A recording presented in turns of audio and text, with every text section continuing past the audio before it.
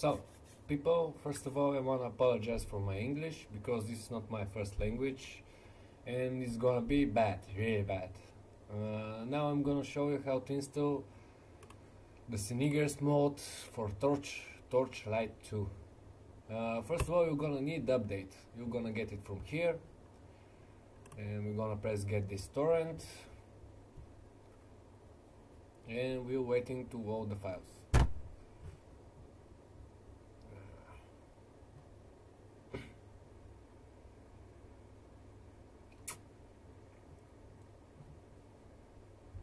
So from this uh, uh, from this torrent we're gonna need the folder update and the folder crack but without the mod launcher exe we're gonna get this from another website.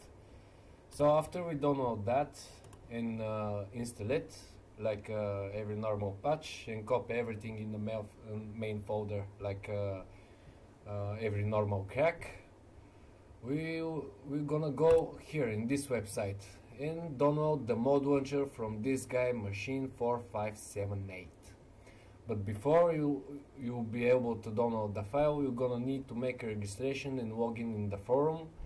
And after this this red thingy is gonna be the mod launcher file. So we downloaded the mod launcher file and we copied it in our main folder and now we're gonna download the mod from here and we uh, obviously need the, the main and the, the latest patch of the mod. And that's right here Synergies mod version 1323 so we download we download the mod.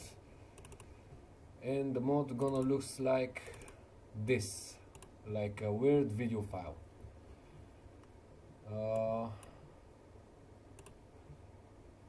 before we install the mod we're gonna need the launch the mod launcher and press the button manage mods. So we need to open this uh, we need to click on this button load a preserved set of mods and this will create a special folder mods. Or if it doesn't click everything else and we'll create the, that folder. So to go there we're gonna need to enter the, my computer uh, documents my games Runic Games torchlight 2 and we're gonna see the mod folder.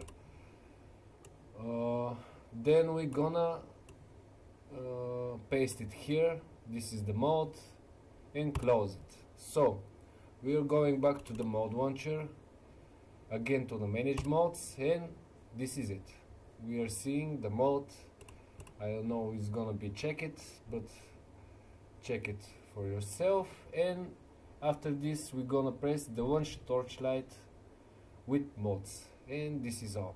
Uh, I'm, I, am making this video be uh, because before I be able to install this mod I read a ton of shit about how to do it. And it was really hard to understand that there is a easiest way. So I hope I help somebody with this. See ya